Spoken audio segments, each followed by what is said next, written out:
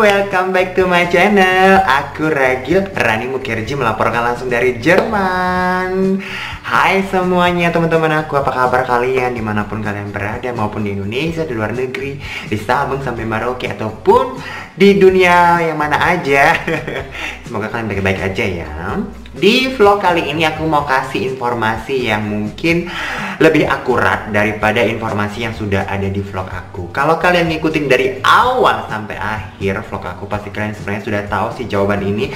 Tapi sampai saat ini masih banyak banget yang nanya di kolom komentar, maupun juga di Instagram, maupun juga di Facebook, sampai masuk ke DM-DM juga yang nanyakin, Kak, bikin dong vlog lebih jelas tentang cara bekerja di Jerman. Misalnya yang dari Indonesia mau berangkat kerja ke Jerman Jerman gitu istilahnya menjadi tenaga kerja Indonesia di Jerman. So uh, mungkin kalian sudah pada tahu ya aku sudah bilang berkali-kali ini mungkin informasi ini lebih jelas lebih terperinci di vlog kali ini. Tunggu aku matiin dulu ini suara handphone supaya nggak kedengeran berisik ya. Ya udah. Nah jadi itu sebenarnya negara Jerman itu tidak ada agen TKI alias tidak ada agen PJTKI alias tidak ada agen yang menaungi tenaga kerja Indonesia yang orang-orang Indonesia dicari terus diberangkatkan atau di training dulu baru diberangkatkan ke Jerman terus diperkerjakan gitu. Seperti misalnya kayak di Hong Kong, Taiwan, Jepang, Korea Malaysia, Singapura, mana lagi Arab Saudi gitu ya. Jadi ada PJTKI yang menau yang uh, bisa mendaftar ke PJTKI, di situ terus diberangkatkan ke Jerman. Seperti itu tidak ada. Tidak ada sama sekali. Jadi tidak ada agen PJTKI yang menaungi pekerja pekerja Indonesia yang diberangkatkan ke Jerman. Nah, tetapi, tetapi ya ada agen di Indonesia yang menaungin anak-anak muda Indonesia untuk berangkat ke Jerman mengikuti program au pair, itu program satu tahun di Jerman, kalian pasti sudah tahu ya, atau program FSJ atau BFD, itu juga program kerja sosial satu tahun di Jerman, atau ikutan Ausbildung, yaitu program sekolah sambil bekerja selama tiga tahun di Jerman Jerman. Nah, agen ini yang ada di Indonesia. Agen ini yang bisa menjaring anak-anak muda atau juga orang-orang yang boleh dibilang masih pengen banget pergi ke luar negeri gitu ya. Walaupun sebenarnya Ausbildung sih sebenarnya nggak mesti harus muda-muda banget ya. Bisa mendaftar di agen, tapi umumnya agen memang lebih suka mengambil anak-anak muda yang masih punya power yang dahsyat gitulah ya karena hidup di Jerman kan nggak gampang Nah, jadi pihak agen itu yang mengambil orang-orang atau kalian daftar ke agen tersebut, lalu kalian bisa berangkat ke Jerman, ikutan program pair, program FSJ, program BFD, atau program Ausbildung, bekerja sambil sekolah 3 tahun di Jerman. Tetapi juga nggak mesti sama agen, bisa juga melalui jalur mandiri. Kalian bisa cari di internet, bisa lihat di vlog, di YouTube, di Facebook, di Google cara orang sudah banyak banget mandiri datang ke Jerman. Seperti aku aku juga datang ke Jerman tuh mandiri dulu ya. Jadi pair lalu FSJ lalu Ausbildung dan sekarang menikah dan bekerja gitu. Nah jadi bisa pakai jalur mandiri. Dan aku juga udah pernah ngebahas di vlog aku uh, perbedaan jalur mandiri dan jalur agen. Nah, dari agen tersebut kalau kalian punya uang, ya kalian silahkan sama agen tersebut dan aku tidak menjual agen mana pun karena aku tidak bekerja sama sama agen mana pun. Jadi kalian bisa searching di Facebook di Google sama agen. Lalu agen ini yang memberangkatkan kalian ke Jerman Nah, setelah di Jerman, kalian kalau tadi misalnya oper dulu, baru kalian bisa FSJ, kalian bisa Ausbildung, kalian bisa kuliah, atau bisa bekerja nantinya setelah di Jerman, atau menikah, segala macam. Dan itu istilahnya adalah batu loncatan, ya. Karena tidak ada, sekali lagi aku jelaskan, tidak ada program PJTKI yang menaungin orang-orang Indonesia itu untuk bekerja ke luar negeri ya. Walaupun balik lagi di website kedubes Jerman yang ada di Jakarta tertulis bisa meng, apa mengapply visa bekerja.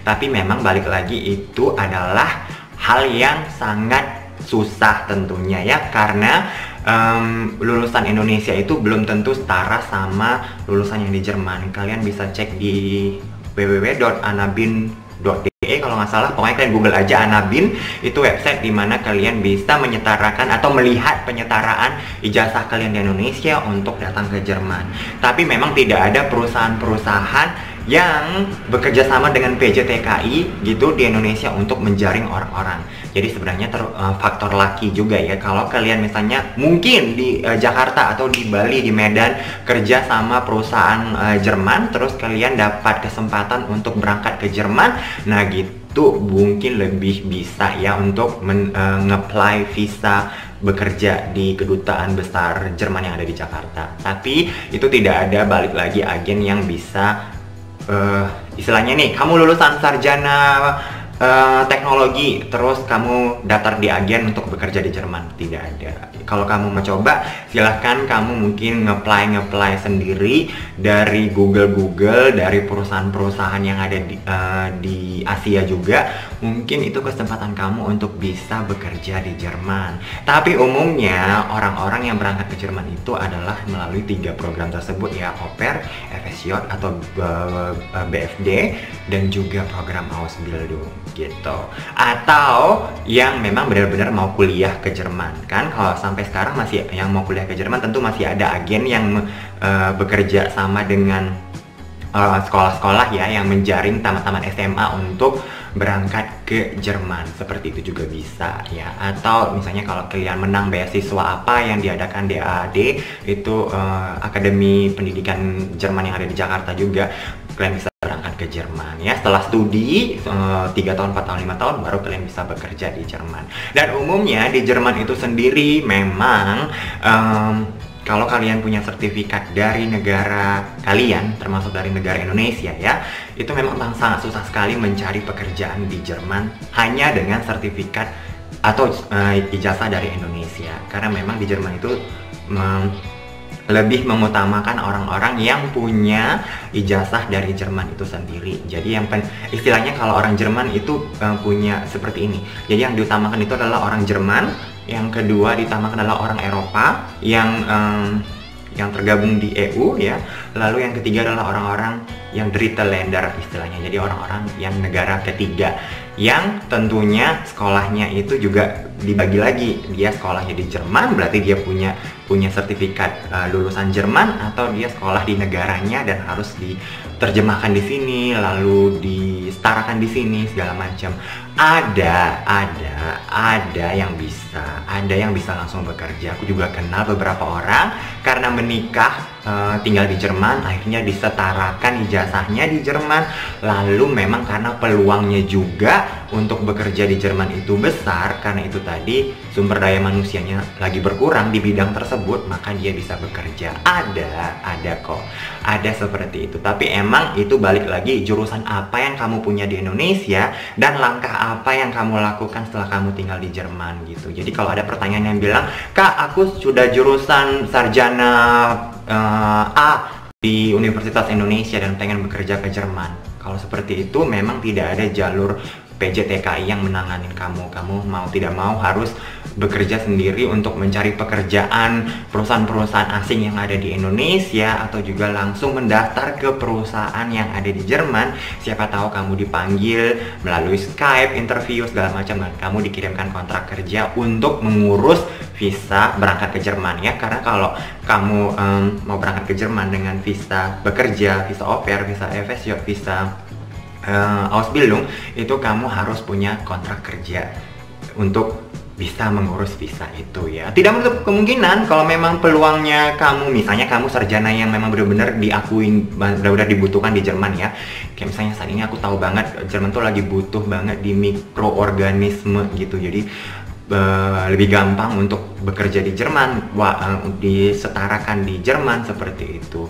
Jadi memang sebenarnya negara Jerman itu negara yang membuka peluang di mana orang-orang asing untuk bisa bekerja di Jerman. Tapi memang negara Jerman itu tidak uh, lebih spesifik seperti negara um, yang maju lainnya untuk bilang eh kita punya uh, punya agen di Indonesia kamu harus mendaftar di agen. Terus seperti di, di Kanada misalnya ya aku tahu banget kalau di Kanada kan ada agennya yang kamu bisa daftar dan kamu bisa berangkat ke Jerman, tidak seperti eh uh, ke Kanada ya, dan di Jerman tidak seperti itu. Jadi rangkumannya, kalau kamu menikah ya tentu kamu bisa punya uh, izin tinggal di Jerman, maka kamu bisa lebih gampang untuk mau di sini sekolah, Ausbildung, kuliah, atau langsung kerja atau menyetarakan ijazah kamu di Jerman, lalu kamu bisa bekerja dan itu memungkinkan, memungkinkan. Tidak ada yang tidak mungkin ya.